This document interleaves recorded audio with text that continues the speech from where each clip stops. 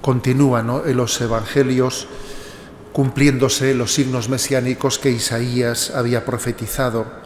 Oirá, oirán los sordos y se abrirán los ojos de los ciegos.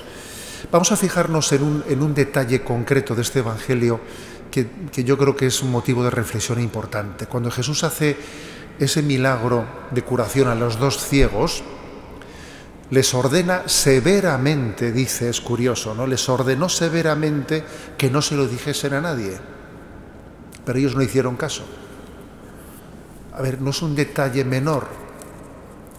Ahí hay un, eh, un, cierto misterio que conviene que, nos asomemos a él, ¿no? Y es verdad que a veces se ha hablado de, para explicar estas, eh, esta, este esta prohibición de Jesús que con frecuencia hacía a quienes se habían curado de ir por ahí contando cosas, se ha hecho referencia al llamado secreto mesiánico, de que Jesús era consciente de que si se divulgaban de una manera indebida, ¿no? pues eh, las curaciones, eso podía conllevar una manipulación de esa figura del Mesías y podían intentar manipularlo políticamente, etcétera. Bien, eso puede ser una explicación pero posiblemente no la única.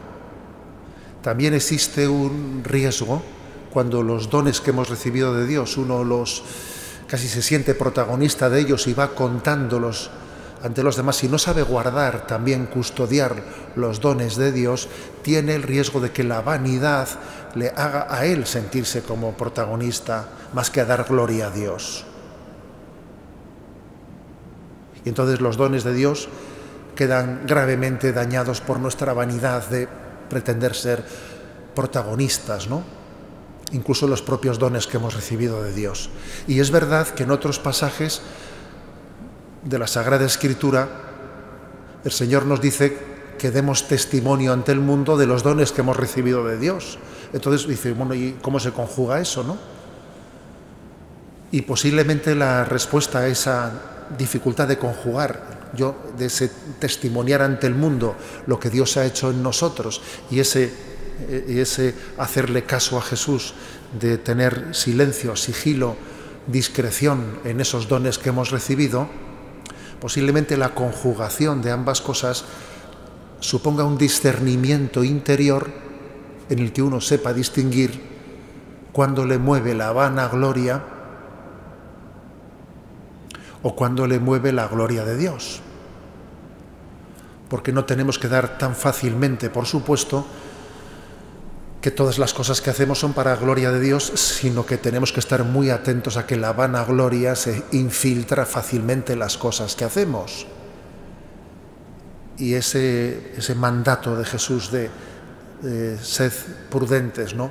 sed discretos con lo, los dones que Dios os ha dado no estáis cacareándolo por ahí porque vosotros mismos tenéis el riesgo ¿no? de estarle robando la gloria a Dios en vuestro afán de protagonismo, es muy digno de ser cuando menos reflexionado y custodiado. ¿no? Señor, yo, ¿qué busco? ¿Busco tu gloria o me busco a mí mismo en mi presencia delante de los demás? Cuando menos el cuestionarnos, ¿no? Cuando menos el tener conciencia de que existe eh, esa posibilidad de tentación incluso en la manera en la que presentamos los dones recibidos de Dios.